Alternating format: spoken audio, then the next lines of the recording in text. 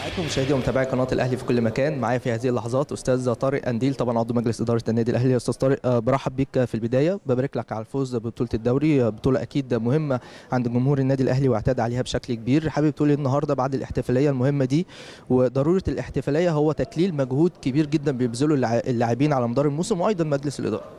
مبروك لكل جماهير النادي الأهلي. هي صاحبة الإنجاز الأكبر في آه، الحصول على النجمة الأربعين.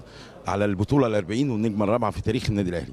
حدث تاريخي المفترض النهارده كان نفسنا أن يكون متواجد جمهورنا يكون في وسط استاد مختار التتش لولا الظروف اللي اللي رغما عن إرادتنا كلها إنما كان هو ده كان الطبيعي اللي كان يحصل. فدي الحاجة اللي مأثرة فينا النهارده. دي كان المفروض هو الجمهور يكون حاضر اللي هو صاحب الإنجاز الأكبر.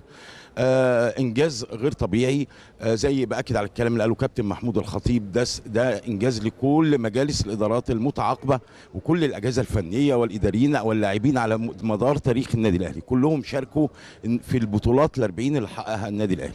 والمجلس بتاع المهندس محمود طاهر كابتن محمود خطيب أكد برضو إن هو شريك في هذا الإنجاز في البطولة اللي حصلت السنة دي. آه، دايما النادي الأهلي الحمد لله له الريادة في آه، في كل المجالات الرياضية. هو جزء أصيل من تاريخ مصر وإن شاء الله يرجع لتاني الاهلي الريادة ونكون الأكثر حظا للبطولات القارية على مستوى العالم إن شاء الله. آه، رسالة أخيرة لجمهور النادي الأهلي واللي إن شاء الله منتظرين و- وأنا عارف إن مجلس الإدارة مصمم إن الأهلي يحقق يحقق.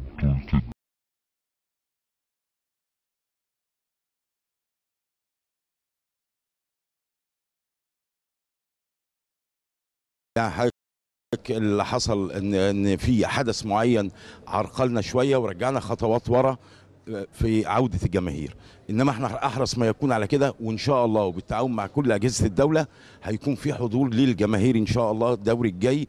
وإن شاء الله زي اليومين دول نحتفل بالبطولة ال 41 للنادي الأهلي في الدوري ويكون الجمهور حاضر ومالي استاد النادي الأهلي. إن شاء الله. شكرا أستاذ صالح. شكرا فندم. ده كان لقائنا مع أستاذ طارق أنديل طبعا عضو مجلس إدارة النادي الأهلي. نروح سريعا لزميلي محمد سعيد ولقاء آخر مع دكتور آه، محمد سراج الدين عضو مجلس إدارة النادي الأهلي.